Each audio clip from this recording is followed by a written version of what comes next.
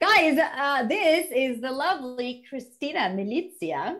Uh, Cristina is so freaking talented. She's one of the first voice actresses I met when I moved to LA because it was the first one of the first bookings I did was Victor and Valentino, and she was the kindest soul. And we went and had a little coffee afterwards. And Cristina was acting. I mean, she is just so humble with all the work she does, and she looks like she's uh, 15. so uh, Cristina has done a ton of stuff including Poison Ivy in DC Superheroes, Jessica Cruz in Lego DC Superheroes, Annie and Amumu. Is that how? Amumu. Amumu from League of Legends. I know we got some League fans. How does she sound? Um, Amumu is like really sad about everything, and um, he like just really wants friends. Um, oh so like but he's like really uh, he's kind of um he just can never make any friends. And so he's always like can i give you a hug? Let me oh give God. you a hug it's like oh but he's oh like creepy. So yeah. you also do baby carlitos and casagrandes which we have to talk about. Charlene and victor and valentino uh and teresa and barbie dreamhouse adventures among a bunch of other things because you also work on uh freaking monster what's that called? Monster teen Mon- monster monster high that was a while ago but yeah we did monster high um yeah just i do a lot of a little of everything. Actually most recent thing which is actually really exciting for me which is um i've been voicing hello kitty in a new show and like that's oh like God. for all the girly nerds like wait actual like, hello kitty? Yeah i'm hello kitty in this little Sanrio series what does that sound like? Oh, she actually doesn't speak really, so it's more like little just like it's like just little like I just do little like effort. Oh my god! Oh my god! You started your voice acting career when you were eight. I was. I was. I was very small. Um, how, how did this go down? It was an accident. Um, so my parents are both performers, and my mother uh, but they're actually both singers, uh, all different types of things. But my mother um, actually got an agent because she wanted to do some voiceover work because she was trying to make some extra money on the side from her singing career. And so um, I was just basically accompanying her on her auditions. Uh, so I was just sitting waiting in the waiting room at one of them, and they came out and they were like, "Well, actually, we're looking for a kid for this role. Does your daughter want to try?" They saw me sitting there, and my mom's like, "Do you want to try?" And I was like, "Sure." And so I went in and I, I booked the job, and it was like this like $3000 job and it turned out like it, the casting director his name was ned lott. I don't know if you know who that is but oh. um, he did disney character voices. Uh, he does all the casting for miyazaki. Like he's like this huge casting director. At the time he was wow. working for a different company. This was before he did all that but um, so you know they i just i did that thing and they kept calling me in and then there was a couple of other things where my par- my mom was recording some albums in recording studios and she did a bunch of kids albums. So she'd bring in all these little kids to like do little choruses of like you know i can't even remember think of the kids songs. But so i'd go in too and like we'd do these little kids choruses and i guess some of the recording engineers would notice me for whatever reason and they'd be like hey we want to bring her in for some other stuff. And so I just got called. Like I never really auditioned for anything. And so learning how to audition later in life was really interesting because I just was so spoiled. I was totally spoiled. Yeah. Cause I was just yeah. like, they just call me, right? Like it's ridiculous. Um, but no, so I would just got called all growing up and, and this was before the internet, you know, really was a thing. And so um I was just kind of a it's harder to get kid talent. And since my parents were performers, I had grown up basically and they were very poor so like they were just like had me at all their gigs. Like there was no babysitters really. And they were like here kid just hold this maraca you know? Why don't you dance a little? You'll be part of the show. Um, your, your mom your your dad's peruvian your mom's mexican. My mom grew up in mexico. She's actually uh, like she calls herself the gringa chilanga. She's a white girl who grew up in mexico um like me So, girl who grew up in Colombia, but yeah. Right. So she speaks perfect, you know, perfect Spanish. She's perfectly bilingual. Um, yeah. but yeah, she grew up there and she could not be more Mexican, honestly. Like she's mm-hmm. like just Mexican through and through. She sings mariachi, all kinds of things. Um, yeah. Uh, but yeah, so but she is and that's why I'm lighter skinned, is because of, of her. And my dad, yes, was born and raised in Peru. Um, so then, so then you finish high school, and what happens at this point? You're you're recording a ton. Like, what? When did you say, "Oh, I could do this full time as a job how do i do this? Right. So what i did i mean yeah i did all growing up. And then when i went to college i went to college across the country in the east on the east coast. And all of a sudden all of my little my little voiceover clients i didn't have any. And so um where did you go to college? Uh boston university bu have we talked about this? No. I went to bc you did? Whoa. Yeah. Whoa. Yeah, yeah, yeah. Okay, cool. I had no way to make money and I was trying to help, you know, pay for, you know, just basic living expenses. And I was working at like Jamba Juice because it was like one of the only jobs I could get Okay. for like seven bucks an hour. And I was like, you know, and I was used to getting paid a lot more. And now let me be clear, everyone voice actors don't make a lot of money. People like think we make, we make a very high hourly rate, but Uh-huh. we might not work very often. And so people are like, oh my God, you make so much an hour. And it's like, yeah, but that's not eight hours a day, you know, like, and so anyway, I just want to once clarify. every once in a while. Exactly. Um, so I decided to go back home to California. I uh, went to UC Berkeley instead, and I worked for a recording studio. Um, and uh, so I got a job there, and that was honestly the best education I could have ever asked for. Wow. Yeah. Um, I got to do, I was an in house voice actor for them. So that was like, and it was really hard to leave. I was like a salaried voice actor for them, which was incredible. They paid me a flat weekly fee to voice as much as they wanted me to voice. Uh-huh. Um, and so it was good for them because I got cheap voiceover and then I got like a regular salary and a 401k, you know? Yeah. Yeah. And when I wasn't voicing, I did their talent casting and like, you know, other just kind of admin stuff. And That's amazing because that teaches you so much too about listening to other people's auditions, demos. It did. It was seriously again. It was like the best education ever. So I did um, their voice talent direction stuff. I booked all the sessions. I did some directing. I learned how to edit, and it was just phenomenal. So I was there for six years, and it was just a great job. I loved it. So you did you did a, a moo How does Annie sound just when she talks? Oh, um, trying to think. She's very spunky. Um, I'm trying to think one of her lines. Um, eeny, meeny, miny, burn. Yeah. Um, trying to think of you smell like burning. So she's a pyromaniac. Um, and she's very excited about setting things on fire. And she's like, uh, what's your favorite animal? A bear? Aminal. Yes, aminal. People ask me all the time, isn't it animal? Or are you saying aminal on purpose? I'm saying aminal. Have you seen my bear Tibbers? Does she Oh say yeah. that? Have you seen my bear Tibbers?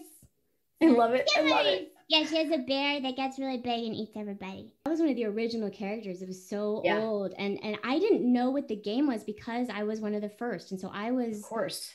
My husband on our first date told me what League of Legends was. I didn't know that he was like, "You're famous," and I was like, "Whatever."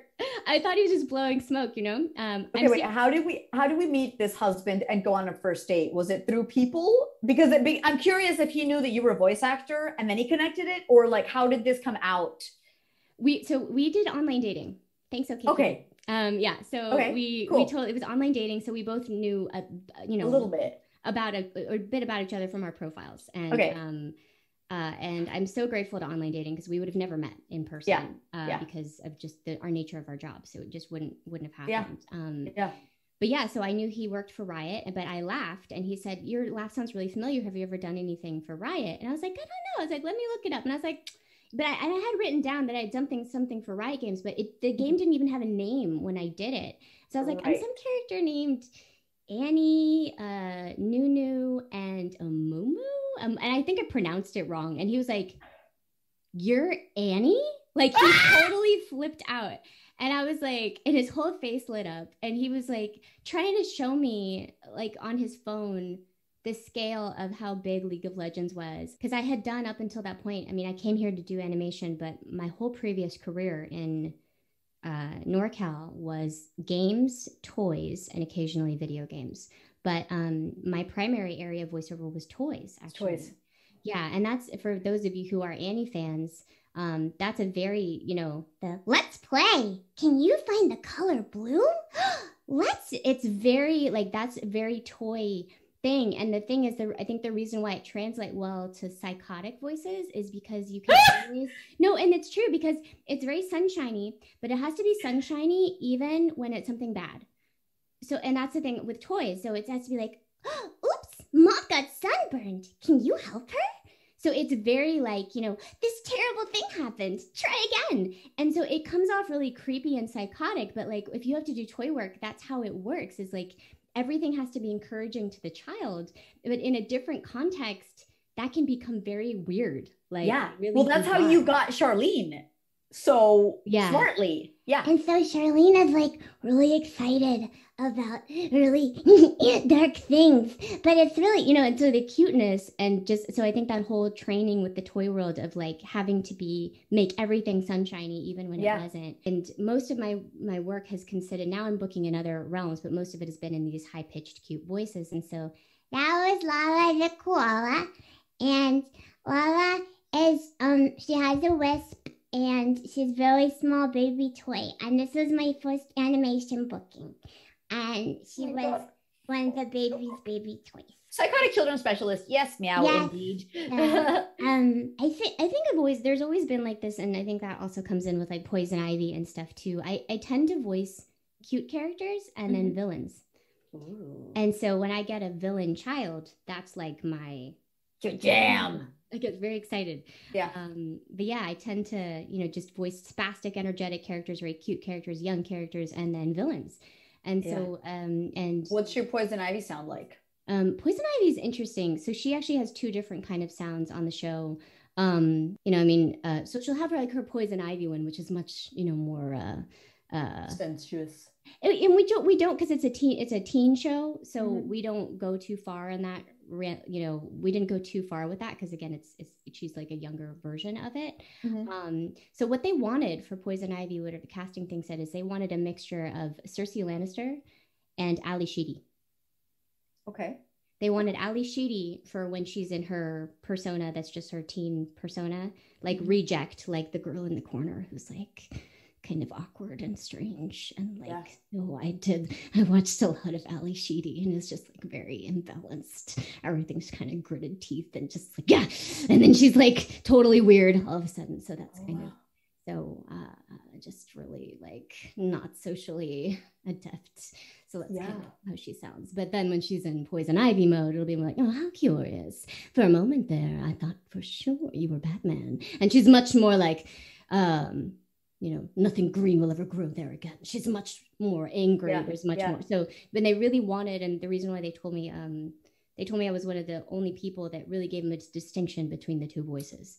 Um, that they really Yeah. wanted it to be separate and different. So, you know, Poison Ivy is much more in command and she's much more controlled. Talk to me about our, baby Carlitos and yeah, I mean, you just you just make noises.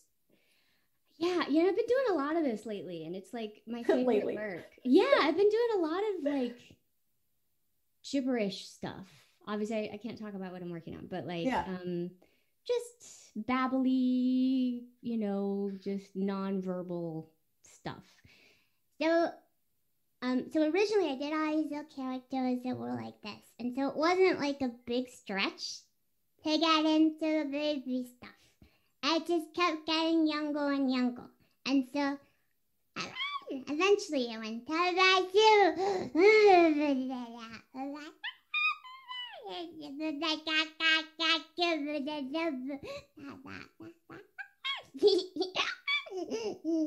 So, Holy cow. so that's what I do. Is I make weird noises. So. I love it. So do you uh, do you talk to your baby like this sometimes or you're like, "Nah, that's weird." I don't um only because it's vocally very tiring um Yeah. and I have to like do a really long warm up before I can get into it. Um but I imitate him a lot because he's Yeah. He teaches you. He does. He teaches me all the time. So I use baby Carlitos has a lot of my son in there. So like he got he would say gag a lot. So there's a lot of gag gag gag and ba ba ba. And those are common like baby. I've spent hours and hours just listening to baby babble. There's certain Yeah. syllables they'll use. Um they spit a lot more than you would think. So just like like yeah, they do like very slobbery. So I try to throw a lot of that in. Um their laughs are very particular.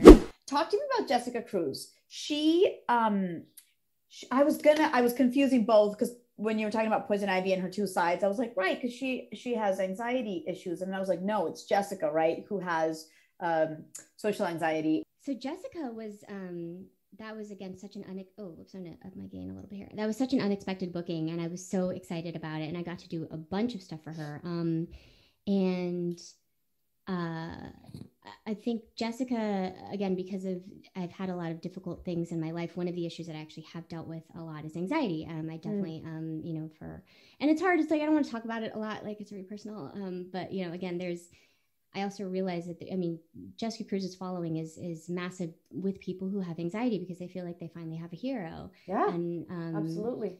And and also that you know you can have anxiety and still do good things in the world and contribute and and um, be um, valuable. And it's okay to have anxiety. It's not a problem. It's not a problem. You just need to learn how to cope with it for yourself. Right, and that it doesn't mean that you're not capable of doing things that take tremendous courage. And so I just think she's an incredibly complex and deep, wonderful character. And um, and I do actually uh, suffer from anxiety. Um, and so I think that that role was just very. Uh, very me, honestly. Yeah, uh, just personal. being me. So, um, you know, uh, I definitely voice like more the younger versions of her. There's been someone else who's voiced her for like some more older, serious roles. And my nature, the nature of my voice is a little lighter. Um, but yeah, I, I, still had the honor of being her very first voice actor and getting to voice her probably more than. And she's Hispanic. Yes, she is. Guys, thank you for watching, Cristina. I know you've been really busy. You had you've had some crazy life changes happen in the last year uh, thank you for coming on and making time for us. I know a lot of people have been very excited. Um, so I really appreciate you making the time. Thank you for the honor of being here. Honestly, you know, I am such a nerd for Sombra, and I think you're a tremendous voice actor. And honestly, it's it's just it's an honor to to get to hang with you, and um and just I'm glad to see your face because you know I've missed seeing everyone. So thank you everyone for for coming. Thank you, thank you, and guys, keep booming and booping.